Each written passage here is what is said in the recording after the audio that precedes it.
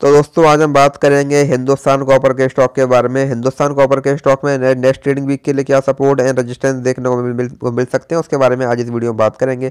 हम अगर यहाँ पर स्टॉक की बात करें तो हम देखेंगे जो ये स्टॉक है ये हमको पिछले एक लंबे समय से यहाँ पर लगातार क्लियर अप ट्रेंड पर देखने को मिल रहा है। हमको स्टॉक में हाइयर हाई हाइयर लो वाला पैटर्न यहाँ पर देखने को मिल रहा है।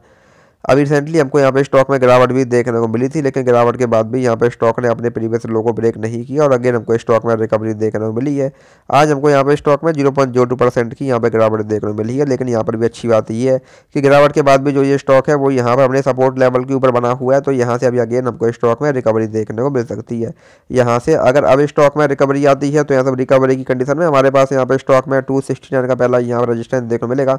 अगर स्टॉक ने इसको यहाँ ब्रेक किया देन हमको स्टॉक में टू एटी सेवन देन यहाँ से हमको स्टॉक में थ्री हंड्रेड सिक्स और अगर स्टॉक ने इसको भी यहाँ ब्रेक किया देन यहाँ से हमको स्टॉक में अगेन एक बड़ी तेज़ी, एक बड़ी बाइंग यहाँ पर देखने को मिल सकती है। इसके बाद हमको यहाँ पर स्टॉक में again three twenty five then यहाँ से हमको स्टॉक में थ्री फिफ्टी और अगर स्टॉक ने इसको भी यहाँ ब्रेक किया देन यहाँ से हमको स्टॉक में अगेन थ्री सेवेंटी फाइव और उसके बाद हमको यहाँ पर स्टॉक में फोर हंड्रेड तक के लेवल्स भी यहाँ पर देखने को मिल सकते हैं।